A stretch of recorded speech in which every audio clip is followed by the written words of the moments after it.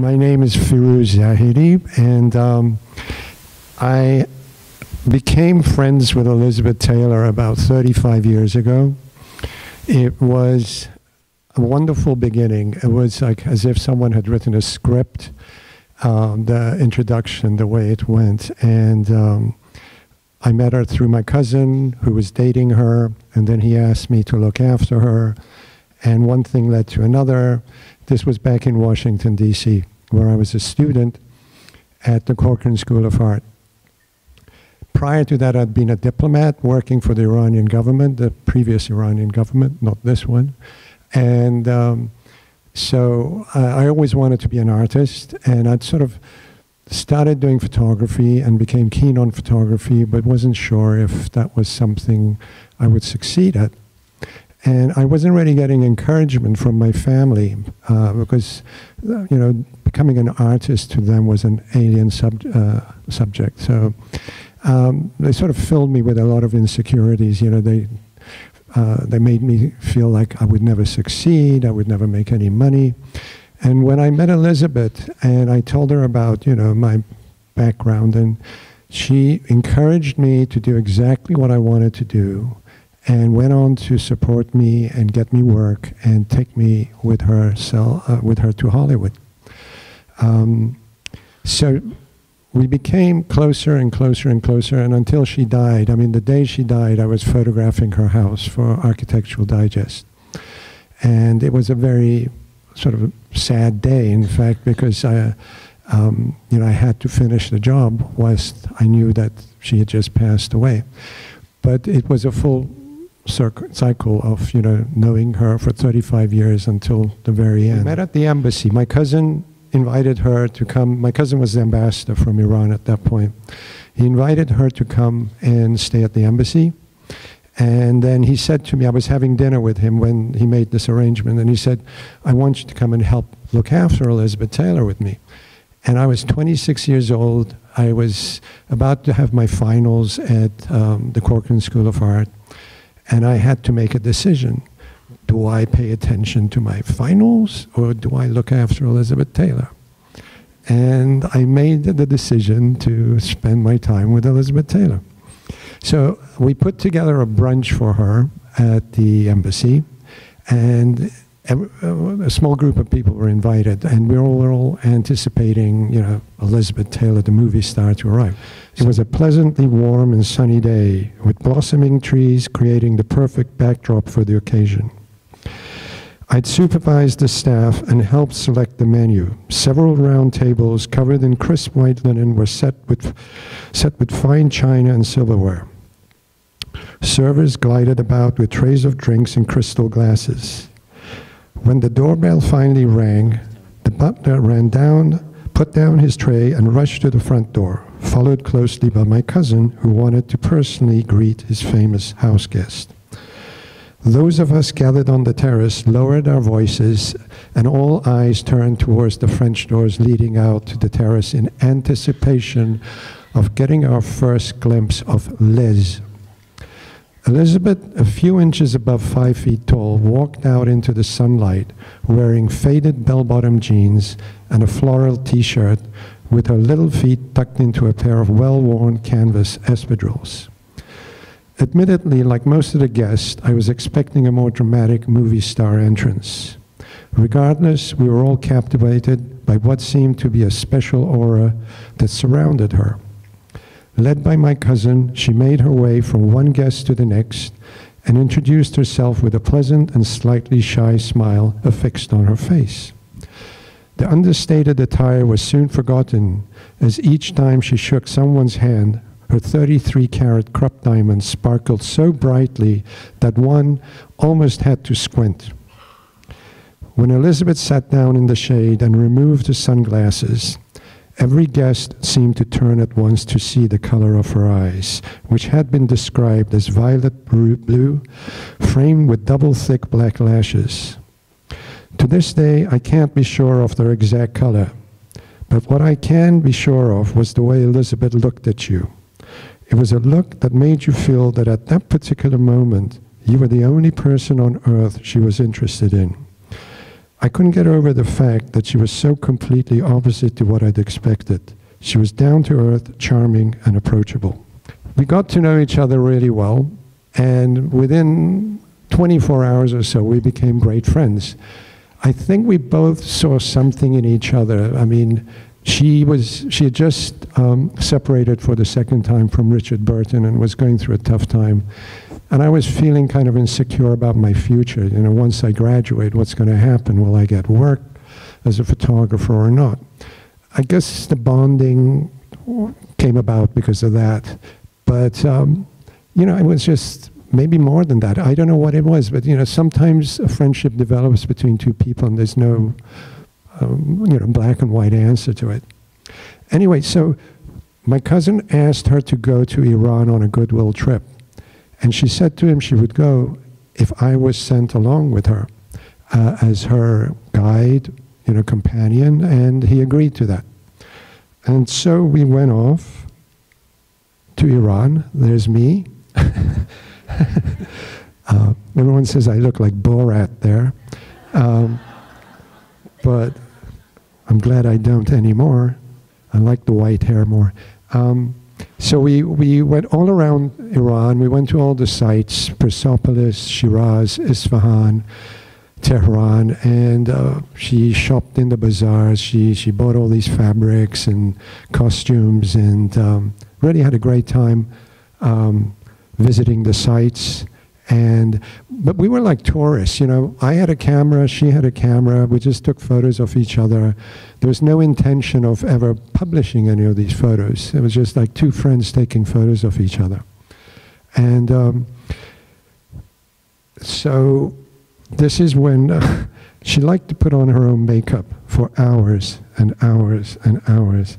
Um, this was when we were staying at the Shah Abbas Hotel. It's no longer a Shah there's no longer a Shah attached to it, but it's still there. And in fact, my wife, Beth, who's here somewhere, she went to Iran this last year and stayed at that same hotel in the same suite. So she could have her photo taken and sent to me. Um, we went to the mosque, and as you can see here, um, you know, her eyes really do give her away, although nobody there uh, knew who she was. But the, the, the funny thing about this is in those days, back in 1976, both men and women could go into the same mosque. Uh, you didn't have the problems you have now with, with all the strict rules that the Islamic uh, Republic has set up. And this is at uh, Persepolis, um, where again you can see, you know, she's attired in her hippie outfit, very casual no movie star stuff about her. Her hair isn't really done, but uh, she was having a great time. And uh, there she is taking photo herself. Um, and that's Arthur Bruckel, her hairdresser, who was on the trip with us, taking a photo of her. Um, okay, so now that we're here, I got to read you another little story. And uh, it includes a friend of mine who is here, who lives in Fort Lauderdale. His name is Amir, and he was in Iran at that point. So the next day, my friend Amir was going to take us on a tour to see the crown jewels at the Central Bank of Iran. Elizabeth had been looking forward to this outing from the start. Amir and I were waiting for her in the lobby, and as we were chatting, I noticed his eyes wander off towards the stairway, at which point a, bewil a bewildered look appeared on his face. to see Elizabeth descending, followed by Arthur, her hairdresser, who was looking extremely proud of himself. He'd taken one of the cotton fabrics Elizabeth had purchased at the bazaar and had wrapped it turban-like around her head. I ran over and whispered to her, please take it off. But why? I think it's beautiful, she protested.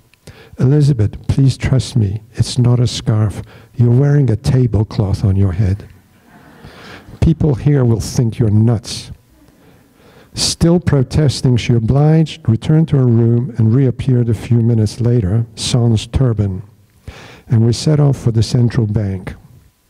Upon entering the vault, we were awestruck by the vast quantity of unset precious gems jewel encrusted thrones, crowns, tiaras, swords, shields, and countless sparkling stones piled up on plates.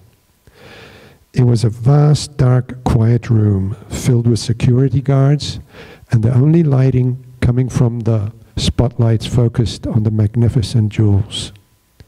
At one point, a captivated Elizabeth turned her ring around on her finger and whispered to Amir that she felt embarrassed by the size of the Krupp diamond, which looked like a grain of sand next to the mounds of diamonds displayed in trays around the room.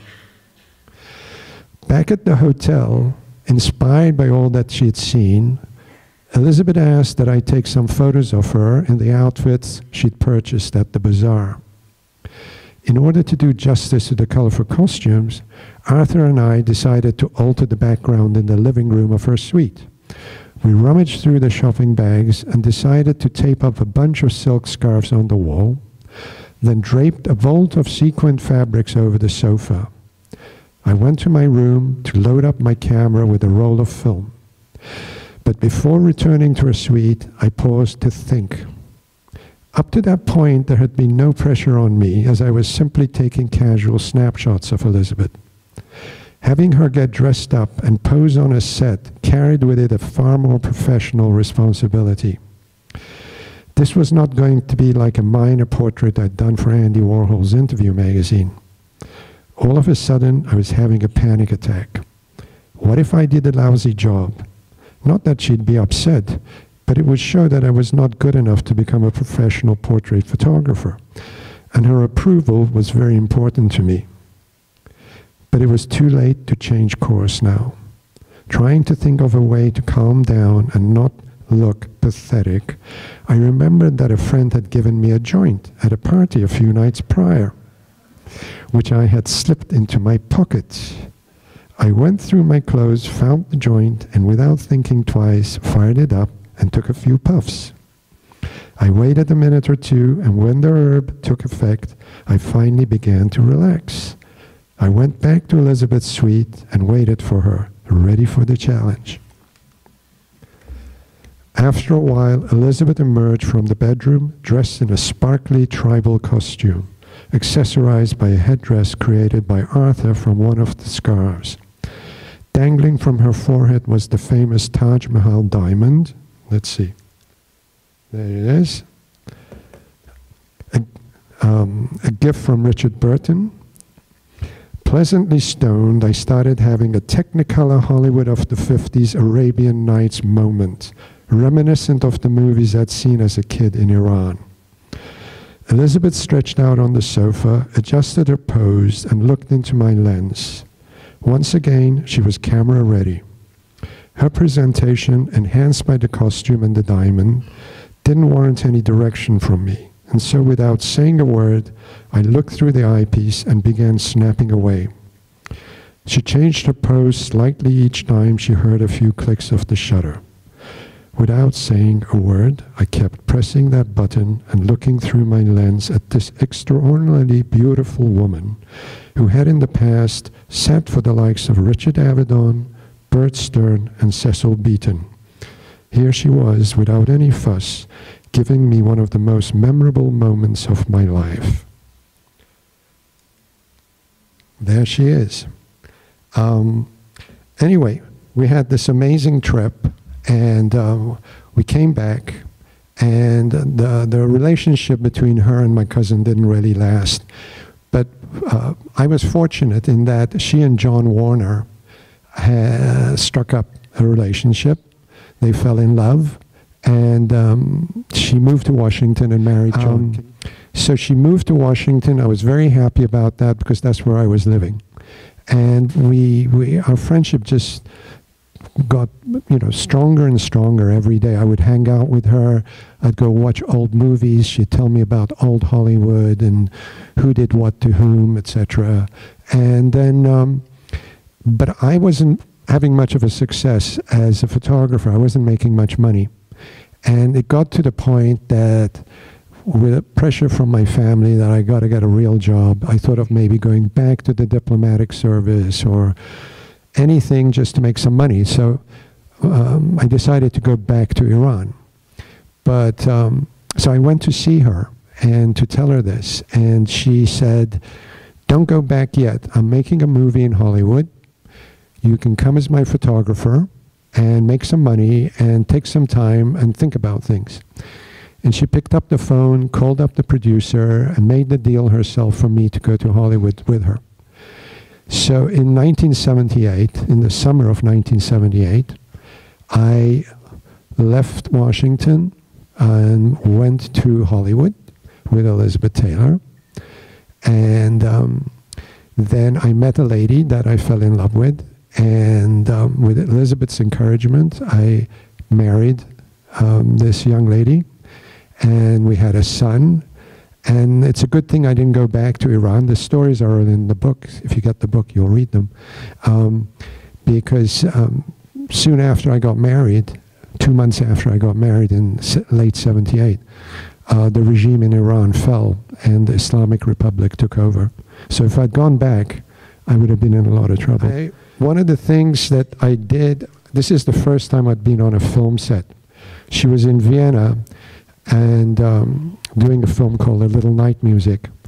And this is before actually we went to Hollywood. And um, she invited me to come along. And this was the first time I'd been on a film set. It was very exciting to see this magnificent film set and people in costumes and seeing directors and costume people and makeup people and grips and people moving things around. It was just like a fantasy for me to be on a film set. And I took a bunch of photos of her, this being one of them. Um, that is one of my favorites from back in 1976. And that summer, we went back, we, when we came back to the States, I got her to become friends with Warhol. She had a th thing she wasn't crazy about Andy. There's a big story about it in the book. You can read.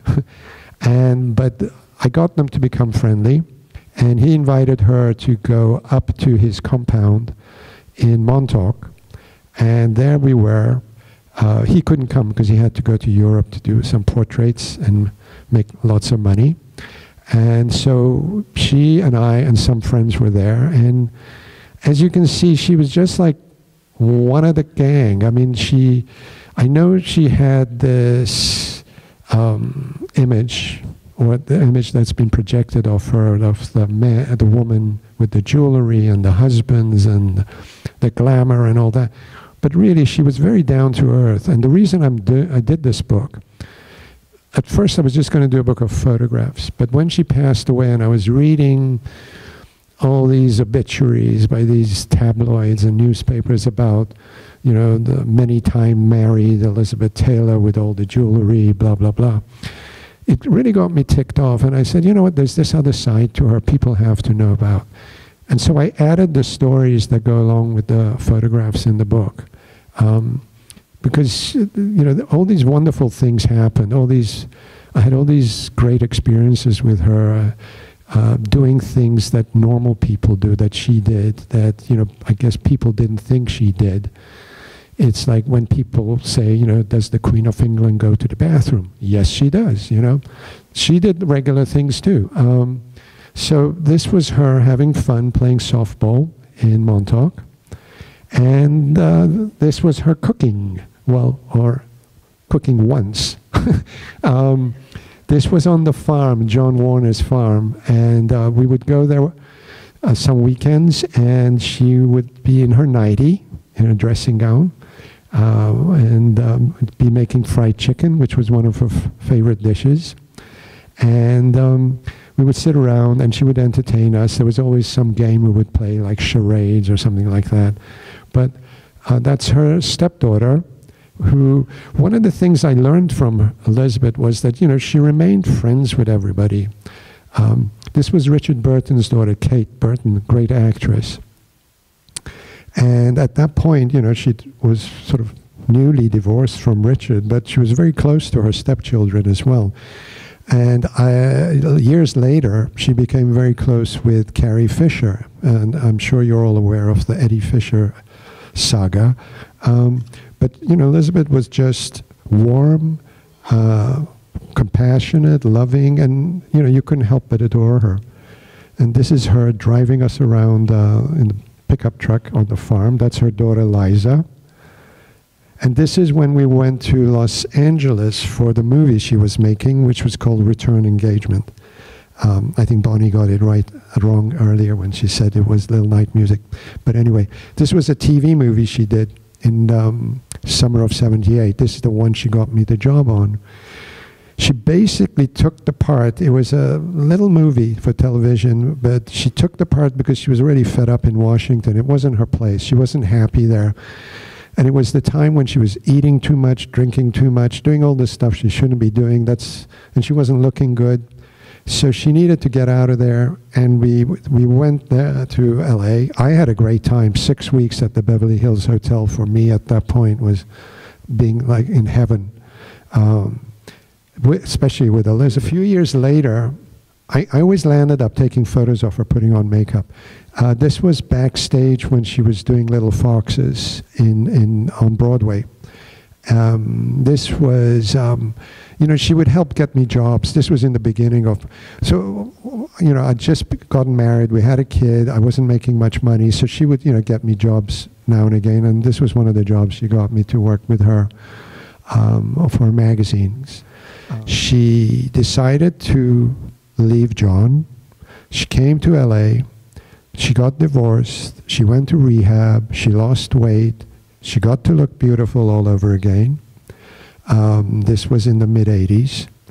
Um, and uh, she's wearing her Legion of Honor medal there, given to her by the French government.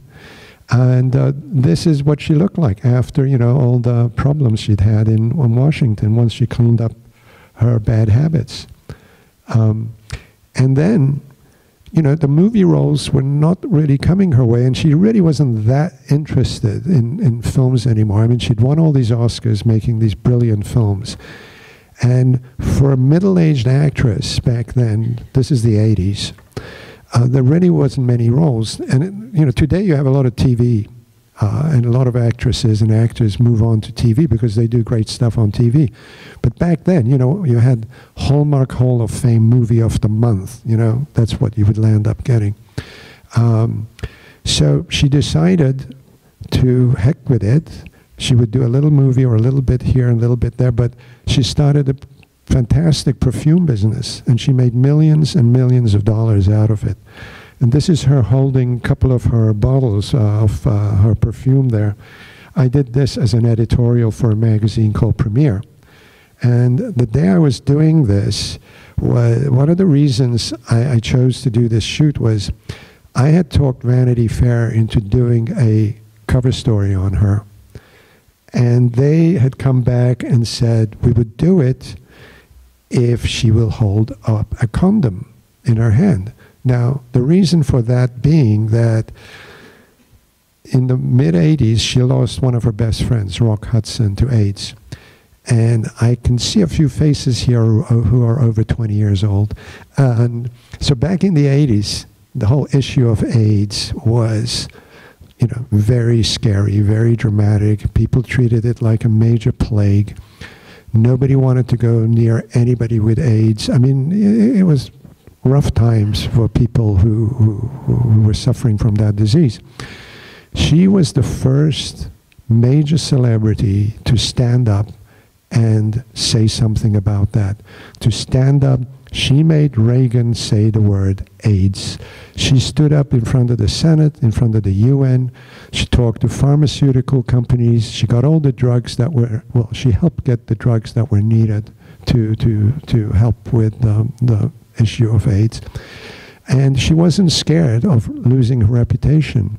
I mean, this is, these days, right now, it's very trendy for celebrities to stand up and have a cause like Haiti or the environment or whatever, which is great. But everybody else is behind those. At the time she stood up and uh, talked about AIDS, um, you know, you could have lost your uh, reputation um, because nobody else was doing that. Not only was she talking about it, but she was holding people, hugging people, treating them. You know, these people who who had gotten AIDS, she she treated them with compassion.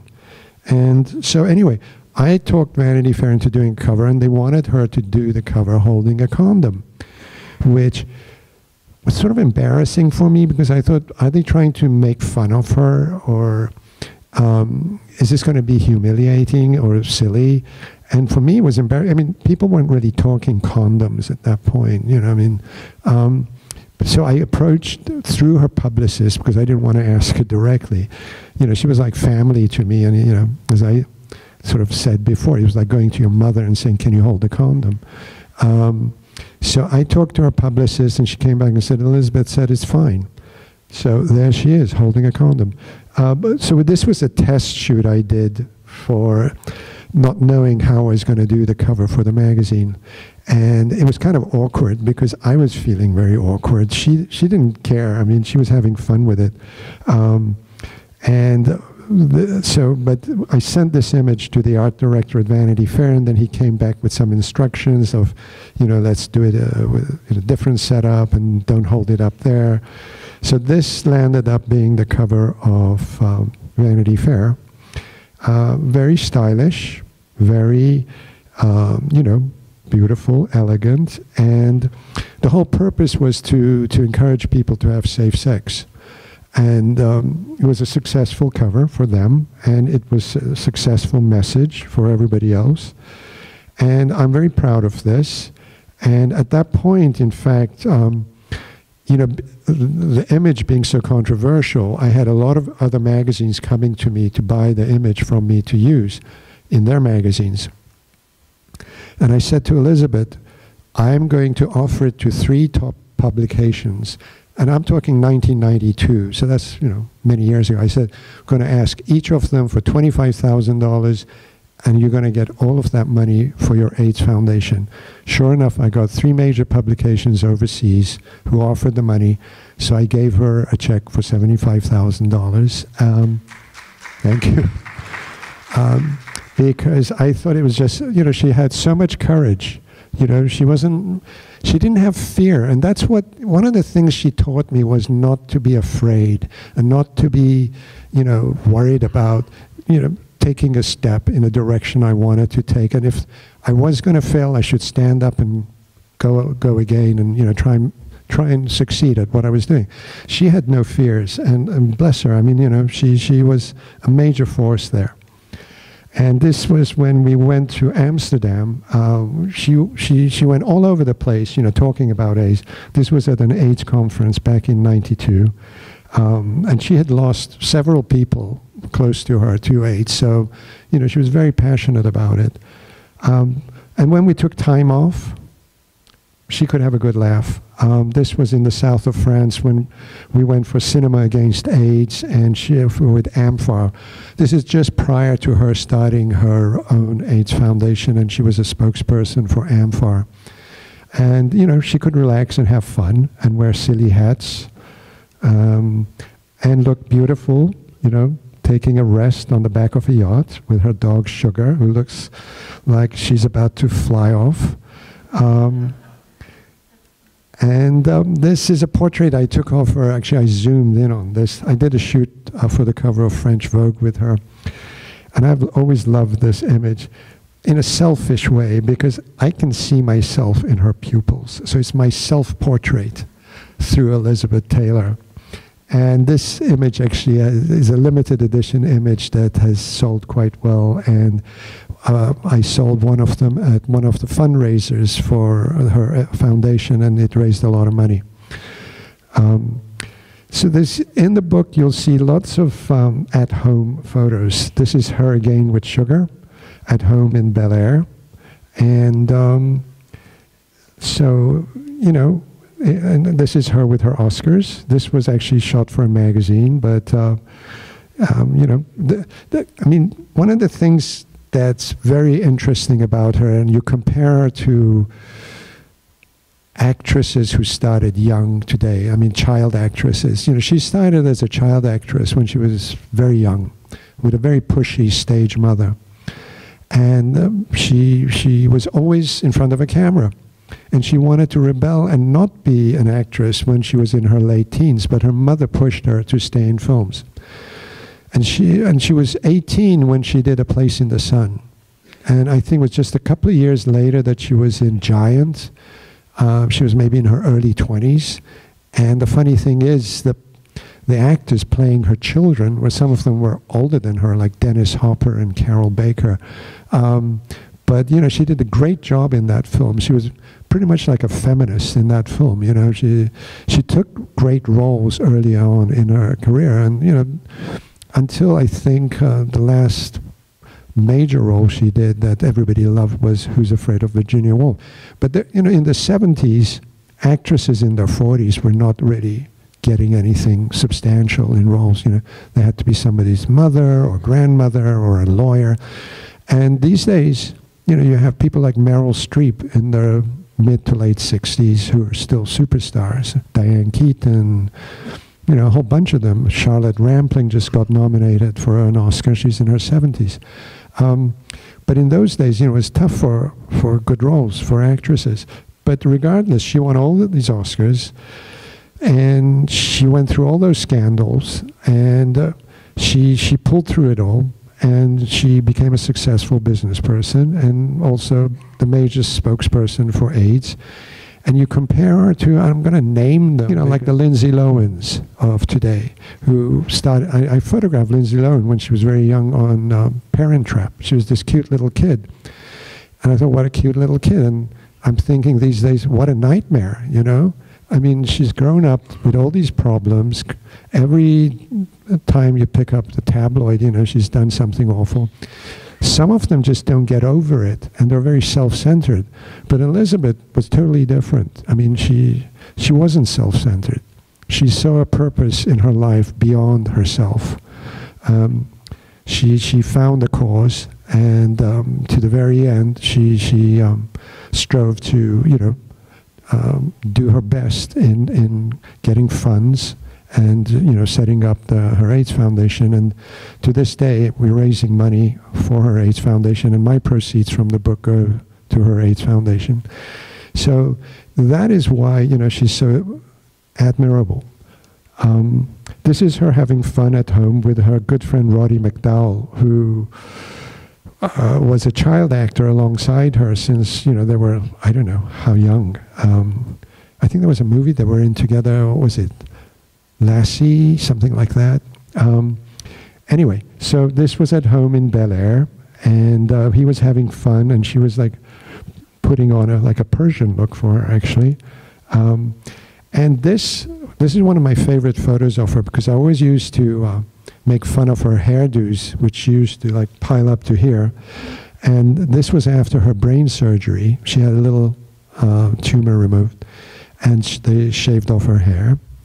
And uh, as you can see, when the focus is just on the face and those eyes, with minimum makeup, I mean, she looks absolutely beautiful. And she was in her uh, mid 60s at that point. Um, just absolutely stunning. And so I got to be her escort. She asked me to go to the White House for the Millennium Dinner with her. And I thought I was going to be seated with her, and she thought I was going to be seated with her. But this greedy fellow um, who you can see in that photo, um, decided he wanted to be surrounded by the world's most beautiful women. So I was like led to another table, and she sat with him and Sophia Loren. Um, so, and this is her again at home having fun, you know, dressed casually, dancing for my camera. Um, and um, we had so many good times uh, at her house. Every Sunday, she would do a brunch and invite all sorts of people, not just celebrities. Maybe there'd be two or three celebrities, but be the, it would be family, friends, children, grandchildren. She even had great grandchildren. Um, they'd be running through the rooms, jumping in the pool. It was like being in a suburban house. This was shot for Vanity Fair for the Hollywood issue. I was approached by the curator of the Los Angeles County Museum of Art, uh, and she asked me if I had. Um, she was the curator of Islamic art. Um, said, "Do you have photographs of Iran prior to the revolution?" And I had left Iran when I was a kid, and I'd only gone back three times, and the last time was in 1976 with Elizabeth. I said, "You know what? I don't think I have what you want, but I have some photos of Elizabeth Taylor in Iran. She said, send them to me. So I sent her the photos, and it wasn't just Elizabeth. It was also, you know, we were in the bazaar and all over the place, so I took some other additional photos. And um, she said, wow, we like these. We want to do a show with these.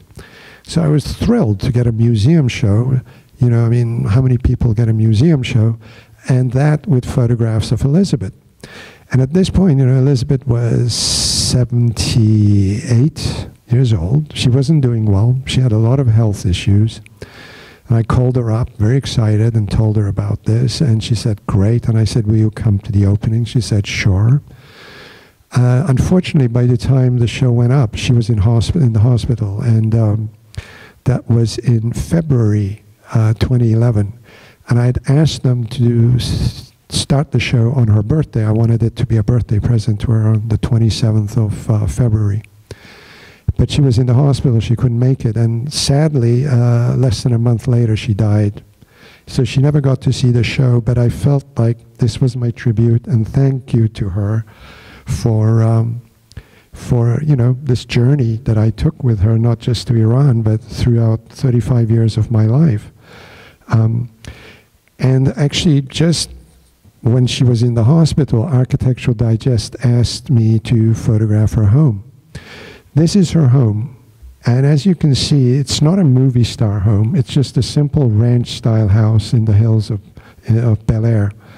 Um, it used to belong to Nancy Sinatra at some point, and some person bought it and, you know, did a little bit of work to it. And, you know, it's nice, but it's simple, you know. And um, so the day I started shooting, um, her assistant had told me that, you know, Elizabeth would. We had rearranged the bedroom downstairs. There was a second floor where Elizabeth's suite was, you know, her bedroom, her dressing room, and bathroom, and all that. Um, and because she couldn't really walk up and down anymore, we decided to turn a bedroom downstairs into her bedroom. So we brought down all her favorite stuff, and. Uh, this is the living room, by the way. Um, she had great art, by the way. You know, her father had been an art dealer, and he had a gallery at the Beverly Hills Hotel, I believe. Um, and um, so, with his advice, he she'd collected some great art. The sculptures on the right side, those horses, are by her daughter, Liza, who's a brilliant artist. And um, there's a little Warhol and a Hockney there. And then you have a quite a good selection of Impressionist art and 20th century, early 20th century art, um, but all, you know, cluttered together. Um, and all was sold at uh, Christie's. Um, so anyway, I was, um, we rearranged everything and we created her bedroom downstairs and I was photographing upstairs. They hadn't moved her dressing room downstairs yet. I was photographing her dressing room upstairs. And as I was doing this photograph, her publicist came in and said, Firooz, you have to stop now. And I thought, great, Elizabeth's coming back home because they kept saying she's going to come back home any day. And I thought, you know, they didn't want a crew of photographer and assistants and editors, etc. there. So I was very happy. I thought she was coming back home.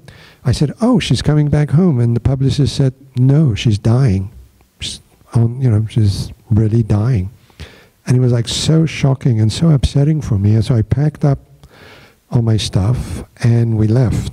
And um, and sure enough, like two in the morning, the next day she died. And it, it was a very sad, sad, sad day for me. Um, this was the bedroom we created downstairs. Um, and um, with you know some of her favorite collections and photographs of her family. And the painting on the right is something she did as a teenager herself. And um, the black and white photographs over there, uh, her father and mother when they were younger. So when she took me to LA with her, um, and we were staying at the Beverly Hills Hotel, she made sure that Edith Head, who was like one of the most famous costume designers in Hollywood, she'd won Oscars uh, for various films, and she was great friends with Elizabeth. She made sure that Edith did the costumes for the movie. And then Edith invited Elizabeth to come stay at her um, house, this beautiful house, um, over the weekend whilst we took a break from the film.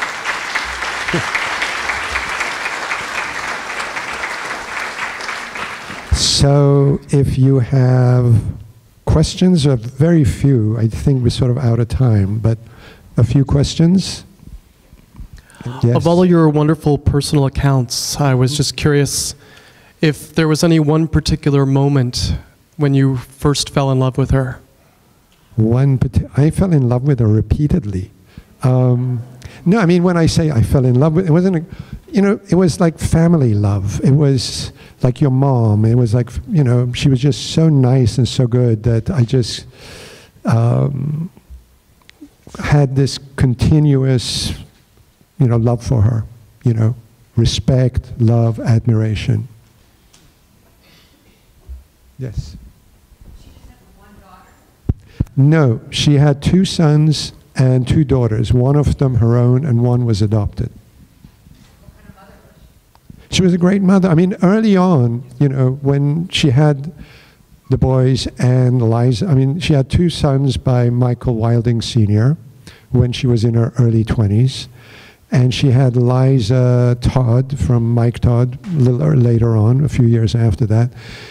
And, um, you know, she was working all the time. And then Mike Todd died, and, you know, he left her in debt, believe it or not. So she had to work. And so the kids had nannies, they had to be looked after. And you have to understand, Elizabeth was in her 20s at that point. Um, and she wasn't a housewife. It wasn't like, you know, she had all the time in the world to look after the kids. So in the beginning, she had help. And her son, Christopher, who's a good friend of mine, he's, um, you know, I've known him forever and I adore him.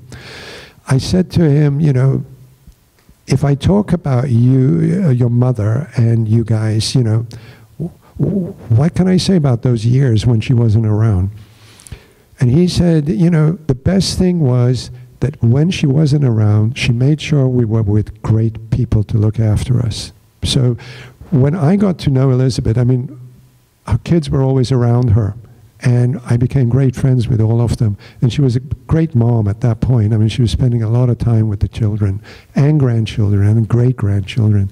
And she really looked after them, you know, in many, in many ways. After Mike Todd died, and uh, she was filming Butterfield 8 when he died, and she had to go finish the film, you know, uh, when this when this tragedy happened. But she got an Oscar for the film, despite the fact that um, she later married Eddie Fisher and that whole scandal with Eddie and Debbie and blah blah blah. Um, by the way, he was not the best husband, and even Debbie Reynolds has said that, and he wasn't the best father. So at that point, it was scandalous that she went off with Eddie Fisher. But so she told me the story that she was in New York with Eddie Fisher at the hotel, exhausted. Um, and, uh, you know, they were promoting the film, um, Butterfield 8. And so she was in the tub, taking a bath, late at night, and the phone rings, and she tells Eddie to pick it up in the other room. And he picks it up and comes up to her and says, It's for you. And Fox, and they want you to play Cleopatra. And she says, oh, you know, nah, nah, I don't want to do that. And he goes back and speaks to the people at Fox and comes back and forth. And she finally shouts at the top of her lungs so that they can hear on the phone at the other end. Says, tell them I'll do it if they'll give me a million dollars. So after a little bit, Eddie, Eddie Fisher comes back and says, they'll give you a million dollars. And that was the first time an actor or an actress got a million dollars for a movie. And that was 1959, 1960. So she started a whole trend. Thank you. Okay, so she was great friends with Michael Jackson. Did she ever tell you any stories or what she really thought of Michael Jackson? You know, one of the reasons I had a great friendship with Elizabeth was because I never asked her anything like that. Like, why this, why that, you know, what do you think of this person, what do you think? If she volunteered information to me, I take it, but I'm not into gossip and all that sort of stuff. Um, things go into one ear and out the other ear. Please, you know, you can ask my wife. I can, I can't remember a thing, um, but she didn't say. I mean, she would say things about Michael, but I didn't really pay attention to, to, to that relationship. I know she cared for him because he had gone through a similar childhood as hers, you know, that she, he had to work as a kid and never had a proper childhood, like the you know, like she didn't have a proper childhood. Um, always having to work and having pressure from a parent, you know, to work and not getting the kind of schooling that would have been appropriate. So, but I you know, I, I met him a few times with her, but um, and as much as I liked his music, I, I wasn't that intrigued by him as a person. To to, he had too much makeup on. I, I, I, didn't ask questions about him. Sorry if I can't give you any more info than that. Um, well, well, thank you so much, Firooz. And I know there's a lot more questions. okay.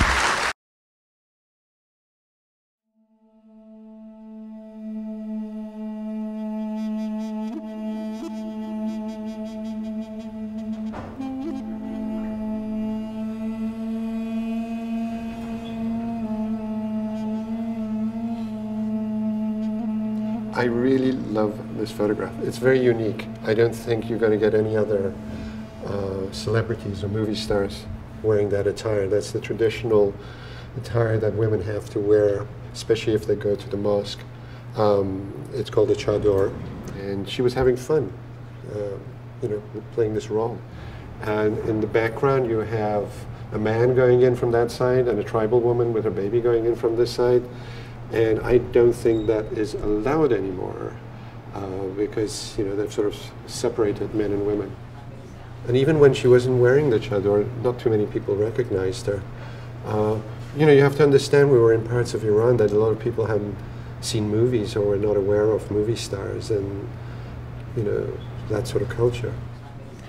In the summer of 1976, uh, I accompanied Elizabeth Taylor to Iran it was a trip that was organized by Iran Air, and they had requested my from my cousin, who was the ambassador from Iran to Washington D.C., to um, pull a group of people together. Uh, at that point, he was um, uh, having um, a relationship with uh, Elizabeth Taylor, and I had become friends with her. That was a fun day she was taking pictures. I took pictures of her taking pictures. She, she I think, took pictures of me taking pictures. um, you know, we were just snapping like tourists do. When I met her, I just was in the last few weeks of uh, graduating from art school. I had been a diplomat because my family was in the diplomatic services and in the government in Iran, and I really didn't want to be a part of that. I really wanted to be an artist.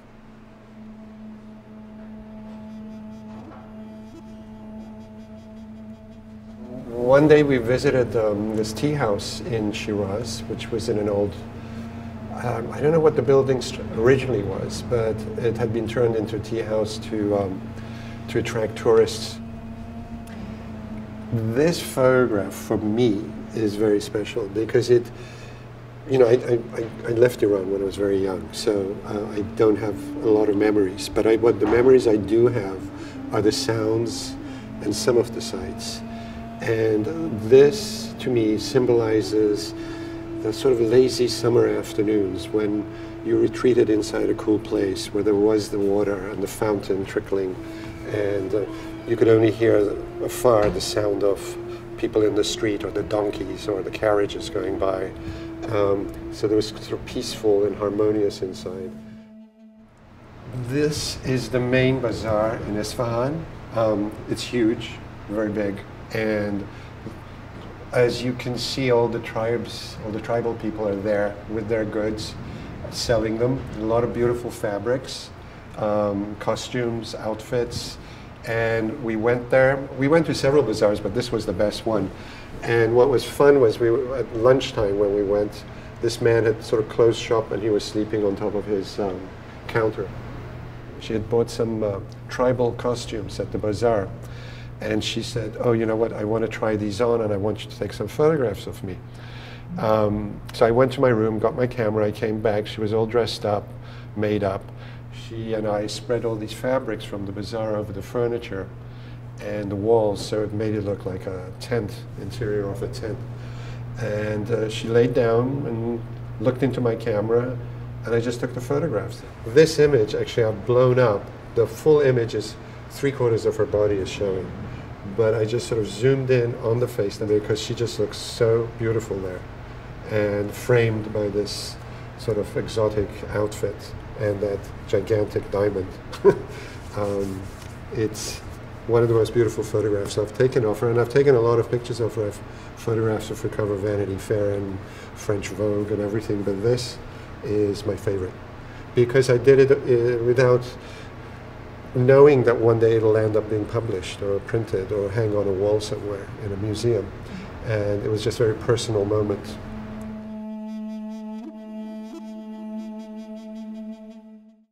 Well, interesting because that brings me, and we're going to show a few pictures of, of some of your iconic work and some of the great stars who you who you photograph. So we'll we'll put those up as we chat. But the book is called Look at Me, and I want you to tell me why you chose that title. Um, for three reasons. The first reason is, as a photographer, when you direct someone to at a sitting, you give them directions as to whether they should look to the left, to the right, and then you say, "Look at me." so you have eye contact. Um, a second reason is when you're working with celebrities and shooting them for magazines or for an advertising campaign, they're doing that in order to promote a film, a music album, or a TV show, whatever. So they want you to look at them too. So they're saying, look at me. The third reason being my very personal that like, look at me, I made it, you know. I had no idea I would get to this point in my life, but I did. Uh, somehow I managed to get here. Lucky me, you know, just look at me. well, I think that's, it's really, it's really interesting that. And, and, you know, you almost are a throwback to a bygone era. I mean, I'm not saying that as if you're a dinosaur, but you know, you worked with a camera and film, and when magazines were jam packed with, you know, they were thick, the glossy magazines. Vanity Fair, Vogue, you know, all the other Hollywood magazines. You had all these amazing um, jobs, so to speak. What is the situation like now for that kind of work? Well, it's totally changed since the internet came in uh, to the picture, um, so to speak. Um, you know, I, I, lived through the golden age of photography for magazines, you know, 80s, 90s, the early 2000s. Um, there was a big budget. You know, magazines had a lot of advertising, so they could uh, splurge on getting good photographers, good hair and makeup people, fly people around the world to do stuff. But they don't have that budget anymore because everybody's shifted to the internet with for advertising purposes. Nobody buys magazines anymore. And if you look at them, they're very skimpy, maximum 100 pages maybe. I'm primarily talking about magazines to do with style, uh, fashion magazines, uh, or magazines like Vanity Fair. They really don't have that readership. Nobody goes to a newsstand anymore and stands there looking through magazines and buying one. Everyone just clicks on the computer and goes on the internet. And most of the magazines have switched to uh, having, you know, an online magazine. So things have shifted, and I'm so happy I lived through that phase. And uh, and enjoyed it and you know profited from it not just financially but you know what it was was just a unique era to go through